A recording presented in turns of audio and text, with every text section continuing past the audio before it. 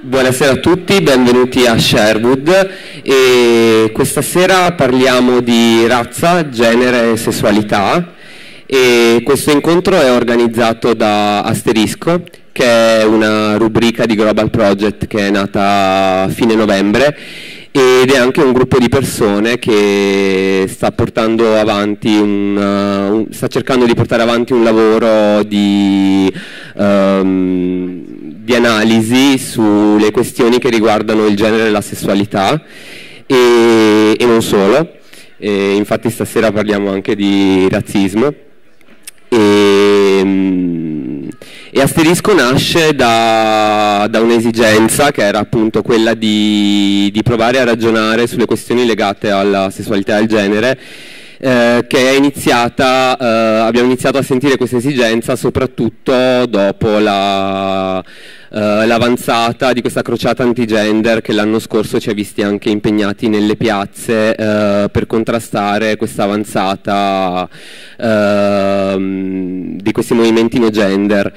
E l'anno scorso poi abbiamo tenuto un, uh, un, dibattito con Lorenzo Bernini, Sara Garbagnoli e Leonardo Bianchi al culmine appunto di quest'anno di ragionamenti su, su questa teoria del gender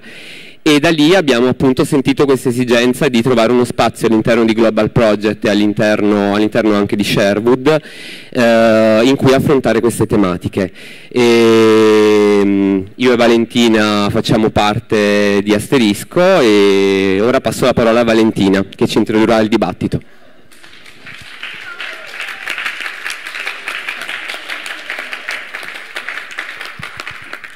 E buonasera a tutti, io stasera voglio introdurre i nostri ospiti, eh, ma prima di tutto vorrei parlare un attimo di perché abbiamo deciso di trattare di razza, genere e sessualità assieme.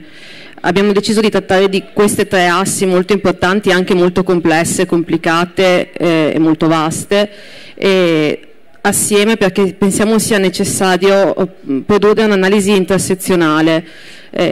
Eh, con analisi intersezionale intendiamo appunto il fatto che bisogna, secondo noi, per avere uh, la possibilità appunto di essere efficaci e di essere critici oggi, c'è bisogno di considerare uh, la questione della razza, la questione della sessualità e la questione del genere assieme, perché ogni uh, posizione subordinata, sottoposta a subordinazione, esclusione, una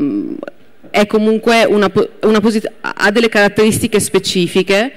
e, uh, che appunto sono dovute alle strutture del razzismo, del sessismo e dell'omofobia e, e, appunto ogni posizione ha una sua specificità e ha anche dei punti in comune con le altre e appunto per comprenderle veramente bisogna considerare questi tre assi assieme.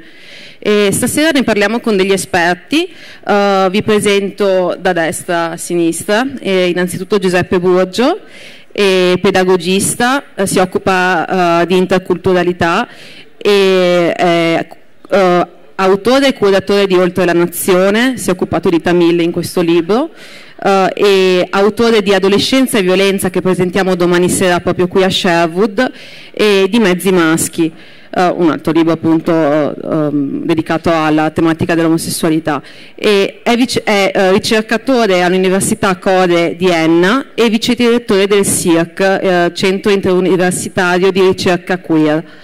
Uh, poi abbiamo Vincenza Perilli, ricerca, ricercatrice indipendente, esperta di femminismo, uh, ha curato un sacco di cose, stasera abbiamo deciso di, di, dire che ha curato Femminista Parole assieme a Gemila Mascat e a Sabrina Marchetti. Uh, non si nasce donna assieme a Sara Garbagnoli che abbiamo avuto appunto ospite l'anno scorso e poi eh, trasformazione senza rivoluzione, come i movimenti femministi LGBTQ hanno cambiato il mondo, eh, numero speciale di Zapruder World, eh, liberamente scaricabile dalla rete. Poi abbiamo, eh, questo numero l'ha curato assieme a Sabrina Marchetti e a Elena Petricola. E poi abbiamo con noi Tatiana Petrovic-Niegos, eh, esperta eh, di appunto, razzismo e razza,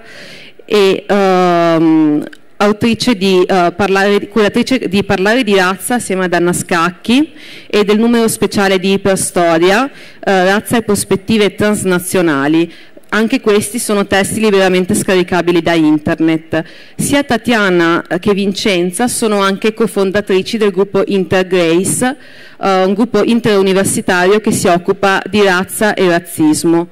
Uh, con questo passo la parola direttamente a Tatiana che comincerà a parlarci uh, di quello che è forse il concetto uh, un po' più problematico nel senso che è un concetto quasi paradossale perché ci parlerà di razza che da un certo punto di vista esiste ma da altri punti di vista non esiste. Grazie.